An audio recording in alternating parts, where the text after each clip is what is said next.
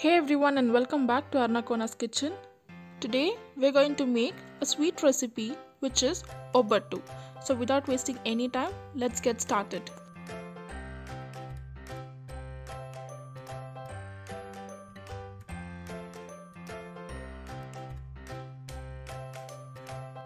So now over here I have 1 cup of chana dal. So add the chana dal into the pressure cooker so now let's wash the chana dal.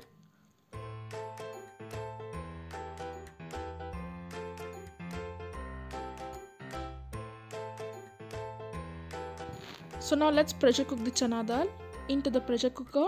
Add enough water.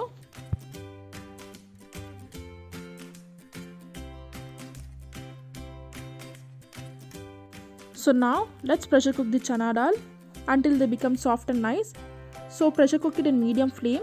So now let's make our dough. So over here i've taken one cup of maida which is all purpose flour. Next add quarter teaspoon of turmeric. Next add little salt. So now mix it well. Gradually add water. So make sure that you don't add the water all together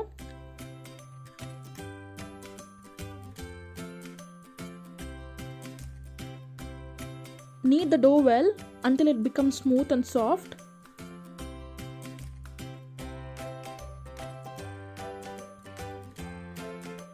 So next into this add 2 to 3 tablespoons of oil. Now knead this well.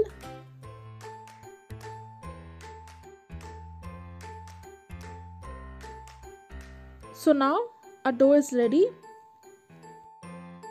let this sit for 15 to 20 minutes. So now our dal is done. So now take a kadai and now gently add the chana dal which we pressure cooked it before.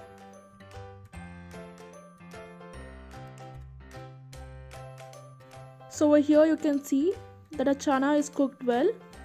So now using the spoon smash the chana so this is how it should look. So now turn on the stove and then place the kadai. So next into this I'm going to add 1 cup of jaggery.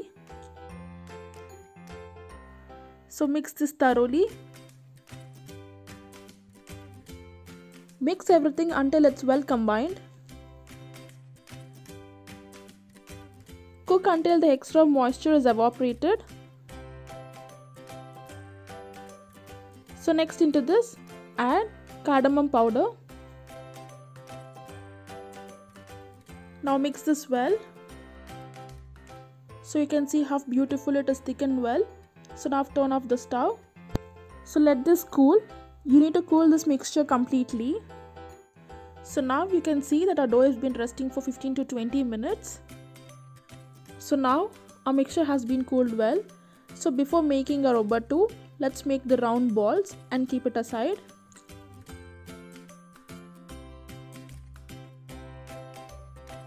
So now our balls are ready. So now let's make our too. So over here I have the thin cover. You can even use banana leaves or a butter paper if you want. So on this I'm going to add some oil and then spread it well.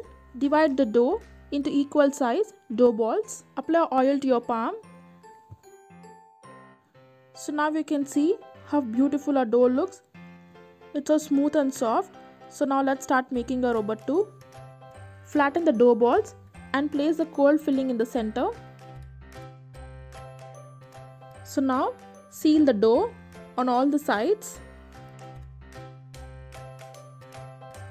So now let's start dabbing our dough so dab the edges well. Make sure that you don't make it too thin in the middle.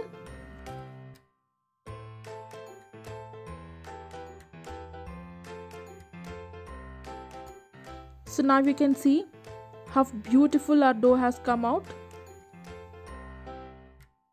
So if you want your obbattu to be very thick you can make it thick. If you want it to be very thin then you can make it very thin. It all depends on you. So now our obbattu is ready turn on the stove and place the tawa. So now into this I'm gently going to place the obbattu.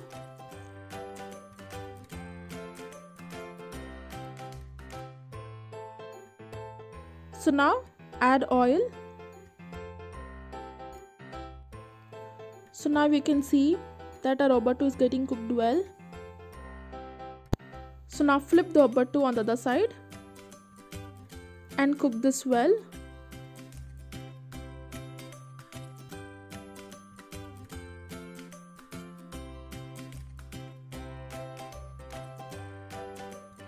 Make sure you cook the obbattu on the edges well.